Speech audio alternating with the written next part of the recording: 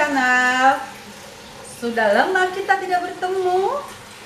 Inang Dapur kali ini mau bikin lasanya Kita bikin dari ayam. Dulu ya kita kasih garam terus kita kasih uh, lada putih. Bikinnya sangat gampang sekali. Di sini ada ayam kurang lebih eh, 200 gram. Terus ada tepungnya. Terus di sini ada tomat, ada bawang bombay. Saya selalu kasih sayur supaya dia sehat. Eh, nanti ada garlic ya, bawang putih, ada bawang daun, ada juga daun seledri. Nah, kalau saya pakai Nah, saya pakai pastanya itu rasanya yang merek apa nih ya? La Fonte. Ya, nanti bisa dicari di supermarket supermarket. Nah, yang pertama kita kerjakan kita uh, chop dulu ya ayamnya ya.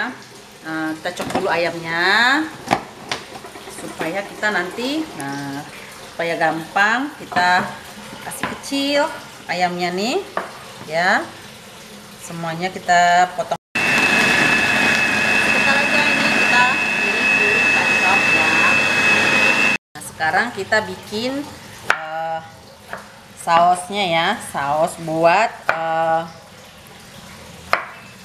dagingnya. Nah, kita blend aja.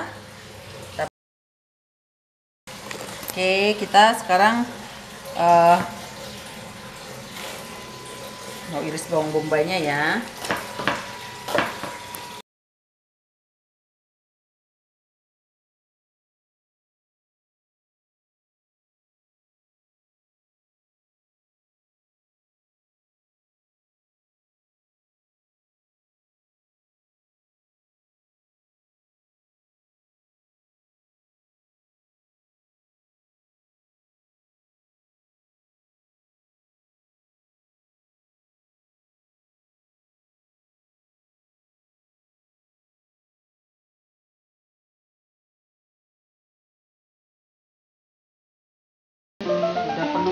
dapurnya dengan wangi garlic.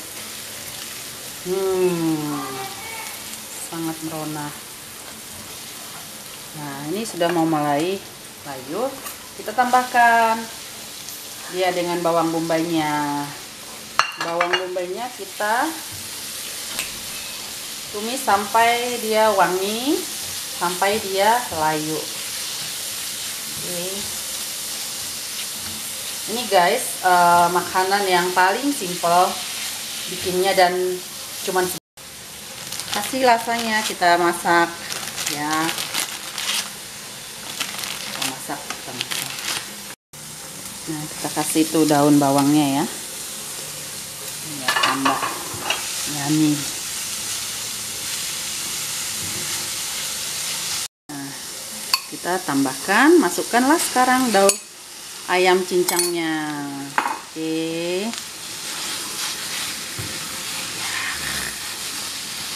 Kalau mau pakai daging sapi juga boleh ya. Ini kebetulan saya ada bahannya di rumah tuh. Nah kita sekarang kasih tadi parutan wortelnya ya. Kasih parutan wortel. Nah tadi yang kita blend tadi tuh tomatnya kita kasih tomat. Oke ini dia bolognese-nya. Ya kan? Kalau dapat tomatnya tuh. Nah setelah ini kita tambahin ya dengan saus uh, kalau mau enak tuh tambahin dengan saus tomat ya. Terus sekarang kita kasih garam ya guys ya. Kita kasih garam. Kita kasih saus tomat ya guys ya ini buat bekal. Anak-anak cocok kayaknya deh. Nanti di dapur Sopo juga nanti ini akan dijual ya.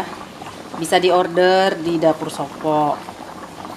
Oke ini. Kita kasih butter ya guys ya. Terus kita ini baru tadi kita kasih tepung yang tadi. Kita matiin dulu kasih tepung yang tadi 5 sendok makan aja ya guys ya.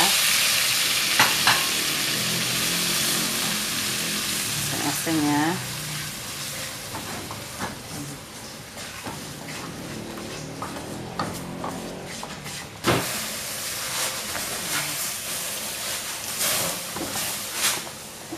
Susu ini untuk minumnya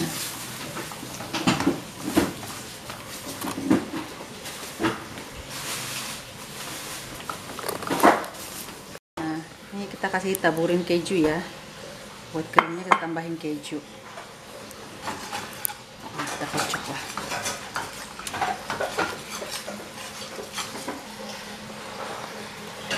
Nih, nang dapurnya udah selesai kan bikinnya. Tadi krimnya yang tadi kita bikin, ini dia hasilnya. Terus ini ada parutan keju ya. Sama ini dia saus bolognese-nya. Oke. Sekarang kita mau buat layer-layer dulu ya. Kita bikin layer-nya dulu. Lalu kita kasih eh bolognese-nya.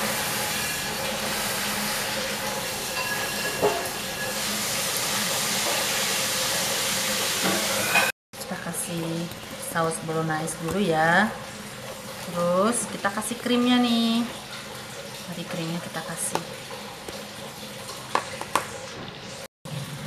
Nah untuk lapisan atasnya itu eh, boleh dikasih eh, mozzarella atau eh, keju juga boleh. Nah kebetulan saya adanya keju cheddar di rumah jadi saya pakai keju cheddar aja. Saya lagi gak punya mozzarella tapi kalau mau dikasih mozzarella juga oke nah ini saya kebetulan ada tempat yang kecil. Jadi saya bikin dulu di tempat kecil.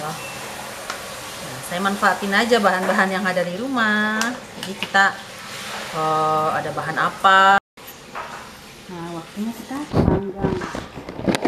Panggangan saya yang satu agak ngadep saya pakai yang sini aja. Panggangan kecil oke. Kita panggang selama 20 menit ya guys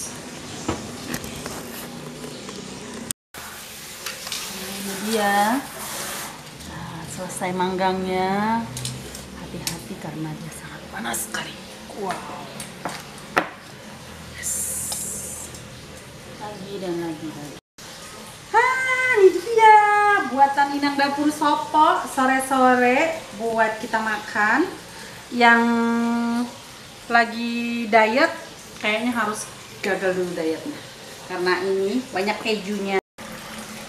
Inilah dia doli-doli yang lagi makan.